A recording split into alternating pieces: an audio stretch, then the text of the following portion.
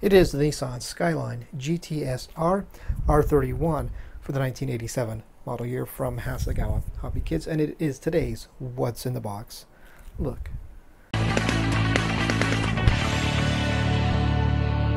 guys, welcome into another What's in the Box look, and today we are looking at the stock version, the street version of the, ni the Nissan Skyline GTS-R R31 for the 1987 model year from Hasegawa Hobby kits. As you recall, Hasegawa did two versions of this kit. They did the race car version, which was released a couple months ago. It was the Calsonic R31. And this, and now the street version is here, just released a short time ago, within uh, weeks. So we're going to take a look and see all the stock goodness that the, that the kit contains. Let's get started. Like always, getting started with the body and as you can see it is molded in a nice lovely shade of dark blue. So realistically one of the main things that's going to be the same between both kits will be the body.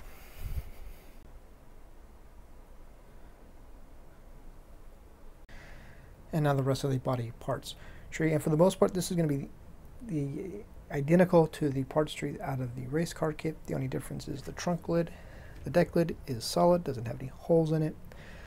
Everything else is going to be, all these other parts are pretty much going to be the same. And moving right along now to the parts tree, the parts trees, and you can see this time these, these parts are going to be molded in a gray, better than blue I guess. This parts tree is going to be pretty much identical, this is identical to the race car version as well and move right along to the interior parts tree. And again, this is going to be another parts tree that is going to be identical in the race car version kit. Uh, and now this parts tree is going to be for this kit.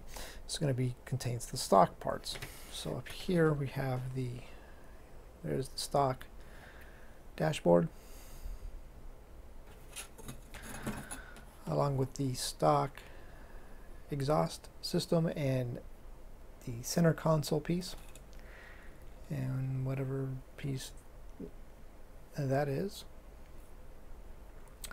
And then down here,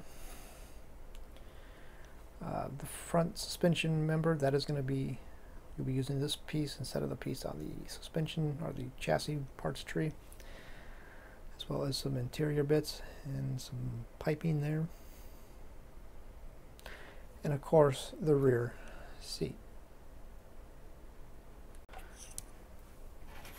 And now we have the parts tree that contains the wheels and the front seat. So let's look at the wheels first.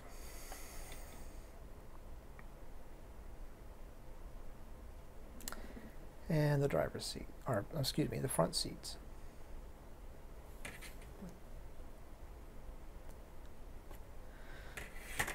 the same for this one as well.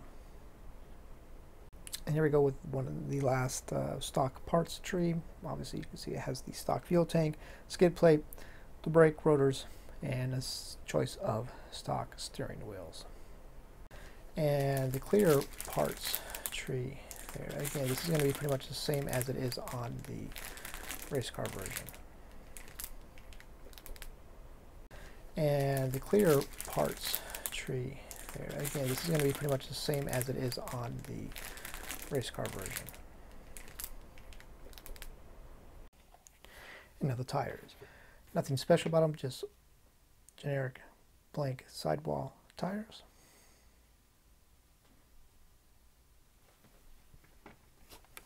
And wrapping this up now, take a look at the final few things we need to look at. Up first is the decal sheet. Uh, not as much, not as full as the Calsonic R31 decal sheet. There's still a good amount of decals on here.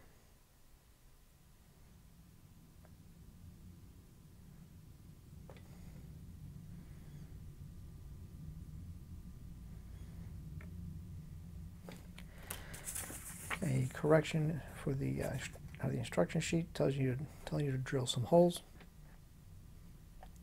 for the license plate frame basically or backing piece and the window masking. I know it's kind of hard to see them but they are there and the wheel masks are also there for the race car version which are not used in this kit obviously. So there you have it folks. That is the stock version of the R31 Nissan Skyline GTSR for the 1987 or 1987 model.